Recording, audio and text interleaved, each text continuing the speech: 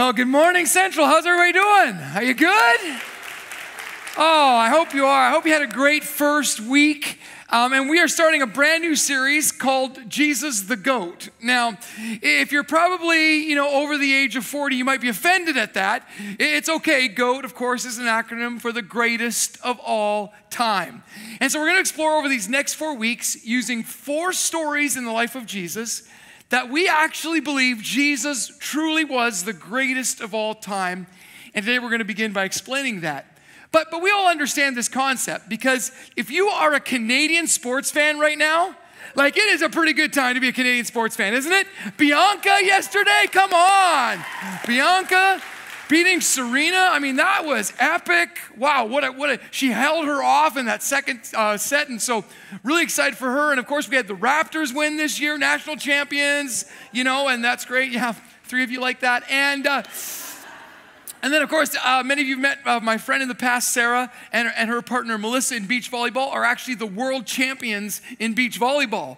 And so, yeah, it's a great, it's a great time to be a Canadian sports fan. And the thing I love about it is that these people have come from all over the world. It's truly Canadian. I, Bianca was the best. Hey, yesterday she was totally Canadian when she apologized for winning. Right? She's like, I, I know you all came to see Serena win. I'm so sorry. You know, it's like I, he doesn't get any more Canadian than that. That was awesome. But, but as great as those moments were, they don't define someone as the greatest of all time, right?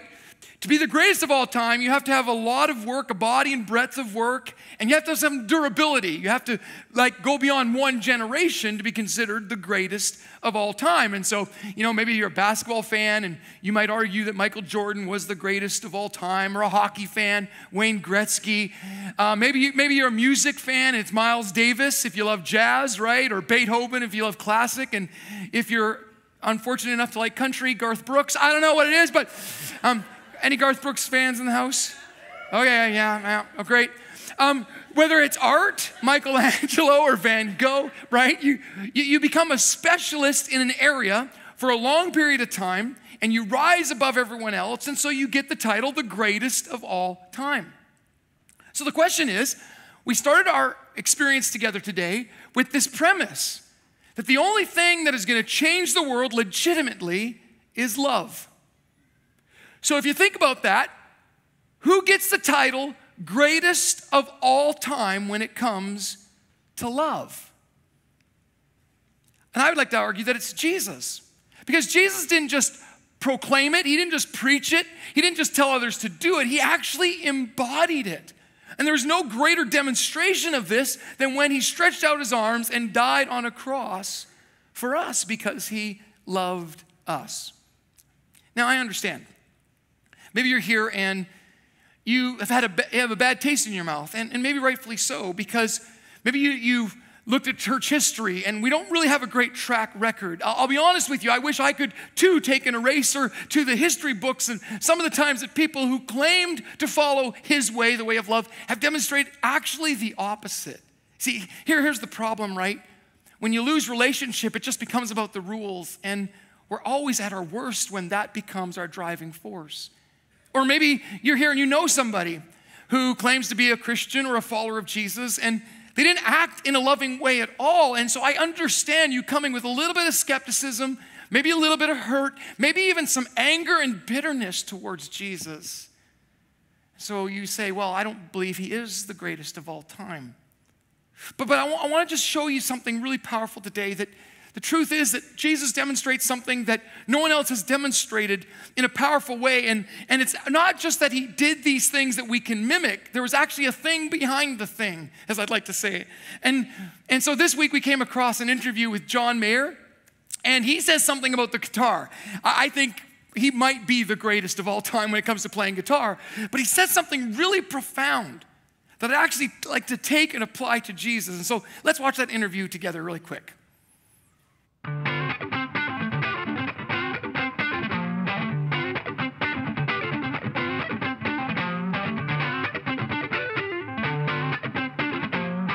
I'm not a big advice guy because I feel a little bit like a misfit myself in my life. But if anybody was asking for advice on how to sort of find the promised land for themselves on the guitar, my advice might sound a little unfun, but it's that everything you learn, learn the thing that is the building block for the thing you just learned. And that might be scales, you know, instead of just parts of songs. Trace back why you like the thing and learn the thing that made the thing you like, and you will be five times better every time you do that. If you just learn my song, let's say I want to learn gravity, you know it's.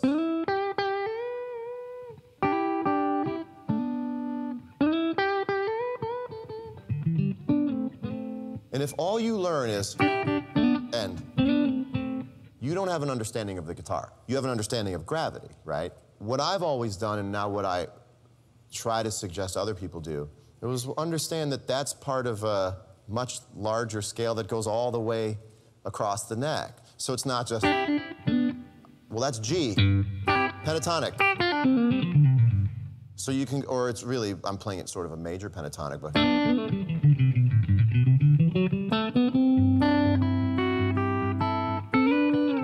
And I can go.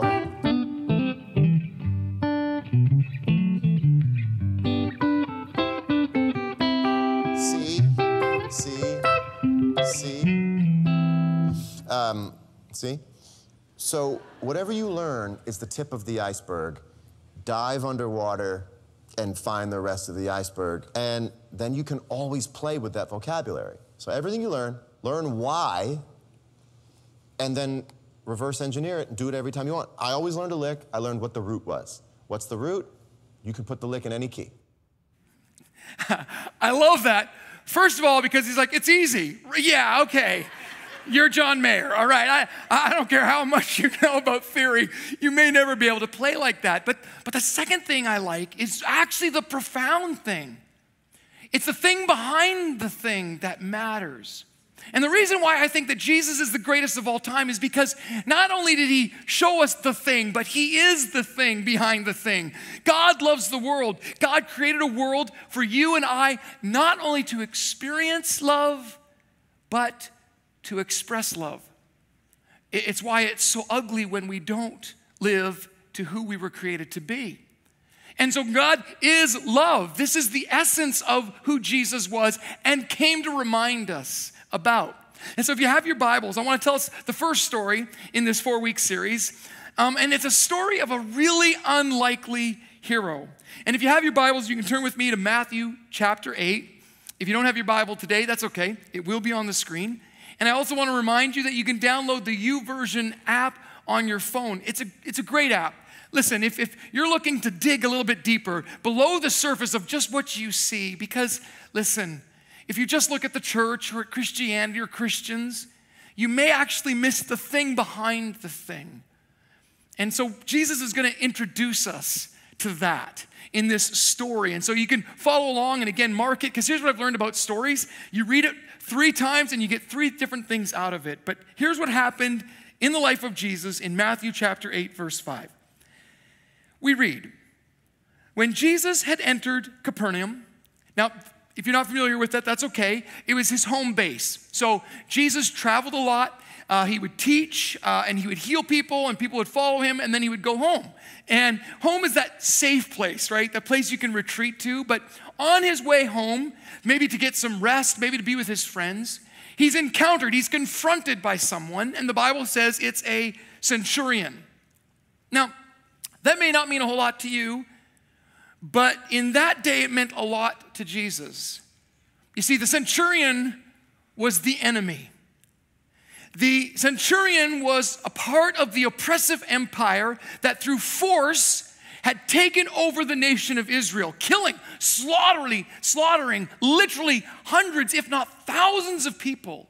Jesus was not the only one to die on a cross. In one massacre, it said that over a thousand men were hung on a cross in a single day. They took slaves, they took the spoils of war, they heavily taxed the people. They were, they were, they were the enemy of the state. And, and this is really important because I want you to think of who is that person in your life that you hate. Maybe they hurt you. Maybe they took something from you. And you find yourself a captive to a circumstance or a situation that was not of your own choosing. Maybe it represents a people group or, or an organization that you're terrified is going to take over the world and you're afraid of them. They're an enemy. The incredible part of this story is that God's going to use an enemy to demonstrate the love of God. And so Jesus sees the centurion come to him and he asks for help. And here, here's the thing you need to know that I don't know your story, I don't know where you find yourself, but I do know that there's a God who not only hears but answers anyone who asks genuinely for help. And so he says, Lord, what an interesting title why would a Roman centurion, the one in power, the one in authority, call a Jewish rabbi from really nowhere, a guy who'd never written anything, hasn't written any songs, from obscurity in history? Why would he call him Lord? It was because he saw something in Jesus. He saw that thing behind the thing that really is the answer to this messed up world. It's love. And he knew if anyone could help him, it would be Jesus. And so he said, My servant lies at home paralyzed, suffering terribly. Again, this is astonishing. Why would he care about a servant? Servants in that day were property, they weren't people, they weren't human beings. And we do the same thing. That the problem with trying to label everybody and to find out our label and identify ourselves as a label is that that's an exclusive reality. Jesus is about to show us that no, you're a human being. That's what you are, created in the image of God. You're not boxed in, penned down captive to some label, maybe a mistake you made in the past or some situation you find yourself in. You're valuable. so the centurion actually cares for this servant. And Jesus said to him, Well, shall I come and heal him? You really want to move the heart of God? Then you show the compassion of God. And the centurion replied, Lord, I do not deserve to have you come under my roof. Now, at first glance, it seems like he's being really humble, but I actually think he's trying to protect Jesus. Because if Jesus goes into a centurion's home who were considered pagans, that wasn't a good word, pagans by the Jews, it would have been a scandal. Jesus wasn't allowed to go. But what I love about Jesus is that he always puts relationship ahead of the rules. Yes, we need rules, I'm sure, but relationship always wins. Love always wins. It trumps everything else. If you're not sure what to do in a situation, choose the loving way. And so he says, But just say the word, and my servant will be healed. I, I know how this works, for I myself am a man under authority and soldiers under me. I tell this one, go, and he goes, and that one, come, and he comes. I say to my servant, do this, and he does it. And when Jesus heard this, he was amazed. That, that word, amazed, is not strong enough in English. In the original language, it's to be almost like your breath taken away. Jesus is amazed a few times in the Bible, and it's often by people you didn't expect. So there's all kinds of people who follow the rules, but they don't know the thing behind the thing, so they just mimic, they just copy. They follow blindly because they don't know the thing behind the thing. But the centurion demonstrates it, and Jesus is amazed. And then he says something really offensive. He says, Truly, I tell you, I've not found anyone, any one of you rule keepers, any one of you who show up at church every week, I've never found anyone with such great faith. Don't get mad at me. Jesus said it. I say to you, that many will come from the east and the west and will take their place at the feast with Abraham, Isaac, and Jacob in the kingdom of heaven. People you didn't expect, people you thought were on the outside when you thought you were on the inside. But the subjects of the kingdom, who don't get the thing, who don't know what love is, will be thrown outside into the darkness where there'll be weeping and gnashing of teeth. This isn't a threat, it's a reality. When you don't walk in the way of love, this is the only alternative. Then Jesus said to the centurion, Go, let it be done just as you believed it would. And his servant was healed at that moment.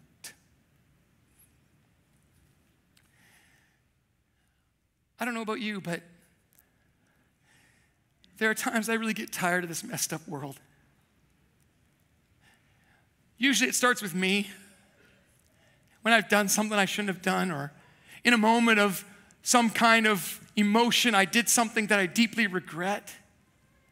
You know what it's like, right? To wake up the next morning and to look in the mirror and go, What is wrong with you? I get tired of my frailty, my lack to be sometimes the husband I'm supposed to be, or the dad, or the friend, or the pastor. And like you, I feel broken inside for the mess that I have created. Others, other times I get tired of the chaos that other people create for me. Here's what I've learned about people. We create chaos and then we invite others into it. And it's just not good because things get hurt in the chaos. And I get sucked into your expectation of what I should be or how I failed you or how I disappointed you, what I should have been and couldn't have been. And I get tired. I get, I get tired of the mess in the world. I, how, many wars are we going to have to go through before we stop fighting each other? I, I know we try to justify and explain it away, but how, how many famines are we going to have to go through before we realize, you know, there's a better way? If we just shared our resources, we could all eat. What, what's it going to take? And the reason that I put my hope and my trust in the way of Jesus is because his answer, I believe, it's the way of love. That when we're willing to die to ourselves, and as hard as that is, that the solution is God's love. And so Jesus said, Love God and love your neighbors yourself. And behind these, this simple statement that most of us could probably quote are three key principles, things behind the thing. And the first one is that every human being has incredible value. I, I don't know your story, maybe. If you're watching online, maybe, maybe we've never met. But I do know that we all have heartbreak and we all have disappointment.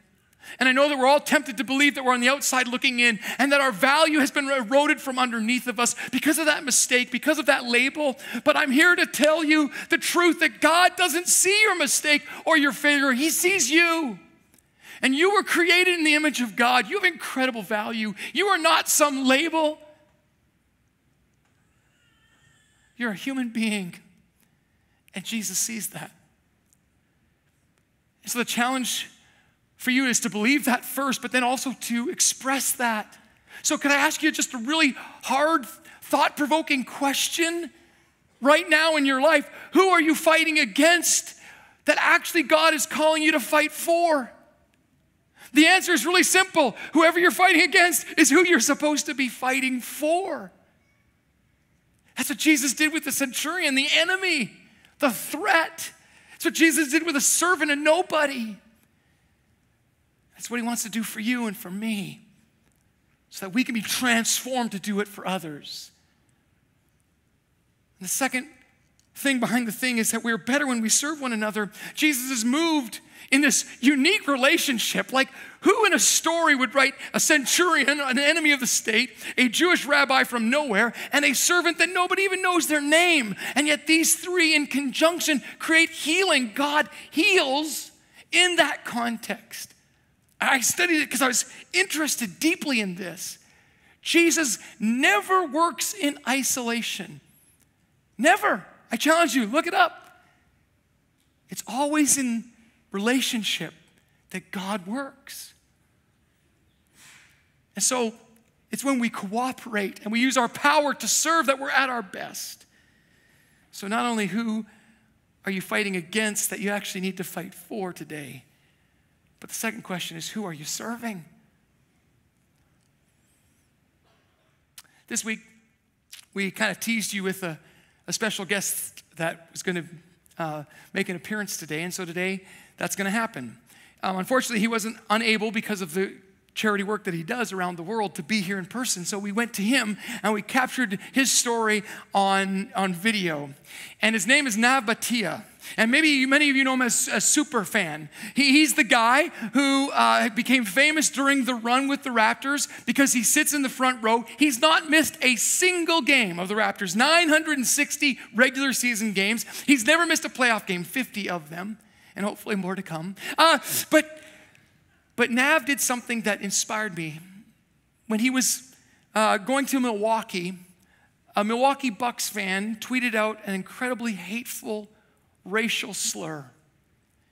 And this isn't new to Nav. He, he's experienced it most of his life here in North America because he chooses to wear a turban and he's maybe different than what some think is appropriate or right, whatever.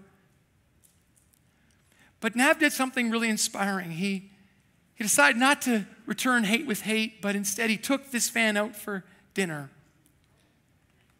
And in so doing, turned an enemy into a friend. So inspired were we by his story that we thought we could maybe learn something from him. And so here is that interview. Honored to meet you, Nav, and thank you so much for being with us today. And uh, today we're hoping to kind of just talk a little bit about your life. And I know that I've become a fan over the last couple years, and I think our nation's been inspired by you and the way that you've just conducted yourself, the way you've made the world a better place. And so, thank you so much for. Thank you for having me here. Yeah, it's great. So, I wanted to start with just talking about maybe for people who don't know you, talk to us a little bit about your story, how you came to Canada, how you became a super fan. I know it hasn't been an easy road, but why don't you just talk a little bit about your journey to Canada? From I know you grew up uh, in India, and I so... come from India, you know, and I came during 1984, during a very, very dark period in Indian history. Uh, that was the time. As you know, I'm a Sikh by religion. Yeah. And uh, there was the time in 84 when there was a genocide going on in India and the Sikhs were being, mass, uh, you know, uh, murdered. Yeah. And uh, there was no safe uh, heaven for Sikhs in their houses or in the temple. Mm. And our businesses were being destroyed. And it was a sort of a very dark time and a sad time for uh, humanity. Mm. So that's the time when we decided as a family to move to Canada. Mm. And uh, me and my wife were the first one to come to Canada. And then rest of my family during the following 10 years, they right. followed me around because it takes time to yeah. get all the things done in a proper way and all that. But I was here and you know what? I'm a mechanical engineer by education. Yeah. But uh, it wasn't easy to get a job as a I, I got my first apartment in Malton for $350 happiest guy on the earth. Yeah. You know the safest place in the world you know. Yeah. And uh, but finding a job though was a very tough one. I couldn't find a job as a mechanical right. engineer so based on how you look. Yeah how i look right. you know and uh, uh, but you know what? God takes care of it. Mm. you know when you believe in something yeah. you you know they that Almighty takes mm. care of you and they shows you the ways, keeps you how to keep patient and how to treat people. And I was successful there, but I think the main thing was I treated everybody mm. like I wanted to be treated right. myself.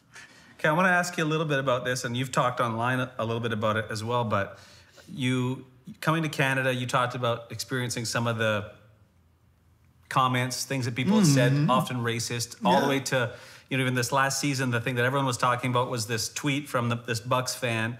And I want to talk about this from your response because you respond with weapons that most people don't, and that's the weapons of love. and I want to talk about what motivates that for you because most people don't live like you do. I don't know if you know that, but on Twitter especially, yeah. most people don't respond like you do. The, you know, sometimes when people, there is a fear of unknown. Sure. And we need to, and once they know it, mm they love you. It's true. And that's with anybody. Mm. You know, we might see a people of a different color, or we see a uh, Muslim guy, or we see a mm. uh, Sikh guy, or we see a anybody we see. If we don't know, there's a little fear. Mm-hmm. I, I always say, I challenge everybody. Mm. You know what? Leave your comfort zone. Mm. Go where you're not welcome. Yeah. But you do it with the weapon you're talking about, love. Yeah and you will see the world becoming a better place. It's true. In the basketball world, we talk a lot about the greatest of all times. We talk about the GOATs, we call them, right? Uh, in in your opinion, what is it that makes someone great? Because again, we, we have a lot of people that are part of our community that are all. I think all of us really are wanting to be great in one way or another. We want to live great lives. What is it? Do you think that makes us great? Okay. To me, I think I've evoluted a little bit now from Yeah. this. You know, I'm not, I'll give you an example. To me, Vince Carter, hmm. yeah, people think he was the best dunker of all time. Right. Michael Jordan, the greatest of all time hmm. in basketball, Kobe Bryant. Hmm. To me, it's not how many points they have scored or how many dunks they have done. Mm-hmm. I always say Vince Carter is the best because I saw him reaching out to the kids. We used to do a camp every year for 600 kids Yeah. where he used to spend his own time, a lot of money, to teach these kids not just to play basketball, but the discipline of life. You know, it doesn't impress me Right. if somebody's a billionaire or this. Just tell me how many kids he has inspired. That's it. For me, that's the great That's of the all greatest time. part. Hmm. I love it. Okay, one last thought for you. I want to know anyone who's watching right now who maybe they're thinking, I want to, I want to live a great life. I want to change how I've been living. I've been living for myself, and I want to. I've been inspired by your story. What would you say to them? Uh, they're saying, I want to, I want to start living my life maybe in the way that you've, in a lot of ways, conducted yourself. What A full you? life. You know, you're talking about a life, you know, Yeah. What would you say to them? Well, reach out to somebody whom you don't even know and they need help. Hmm. Reach out to them without anything in return. No strings. no strings attached. Hmm. Just do it. If somebody's down, pick them up. Yeah. And then let the God, you know, God sort it out. sort it out. The rest. Just do your thing. Yeah. And I tell you one thing, I assure you one thing, I guarantee you one thing. You will be more contented inside. If I'm living for a day, or if I'm living for 10 years, or I'm living for 20 years, I hope God helps me. And I'll tell all the people who are watching when they go to the churches and pray, keep me in your prayers hmm. to give me the strength to continue to do this. We will do that. Thank you so Thank much. you very much. Appreciate and anytime I can do anything, Yes. please let me know. Awesome. Thank, Thank you so you. much. Thank you.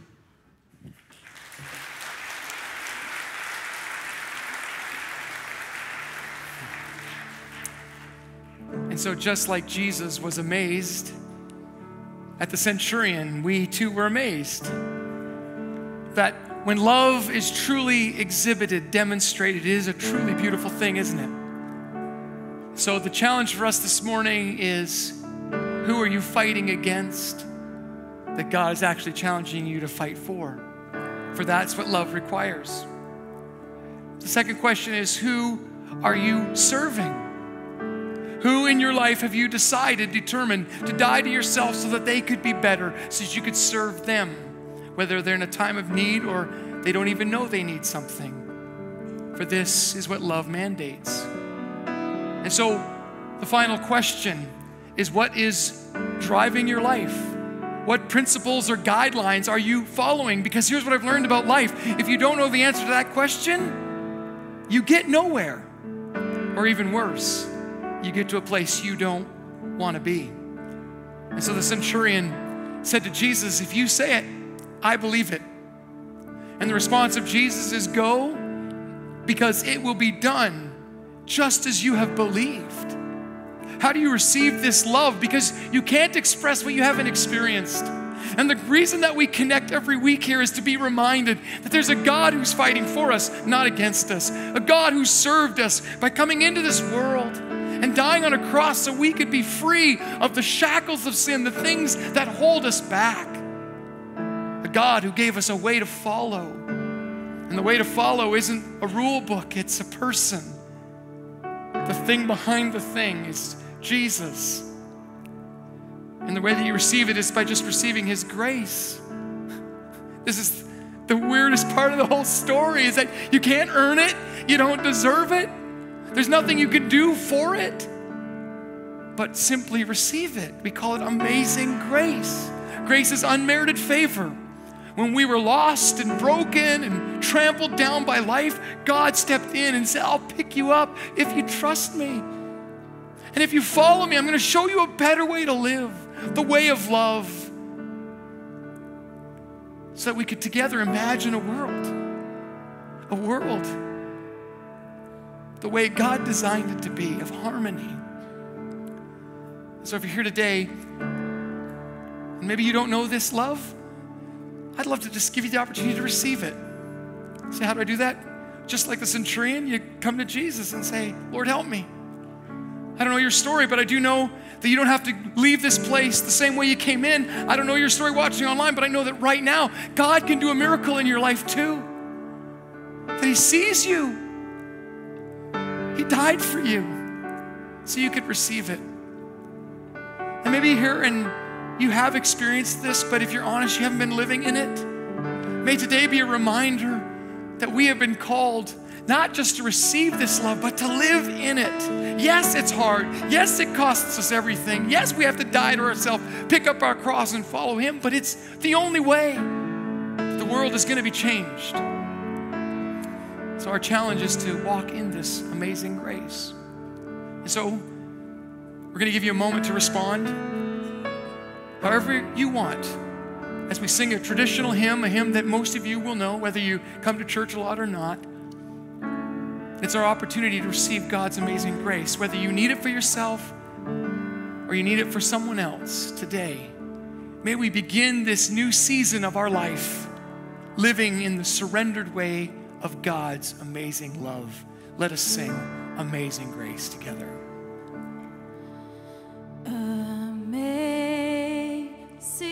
grace, how sweet the sound that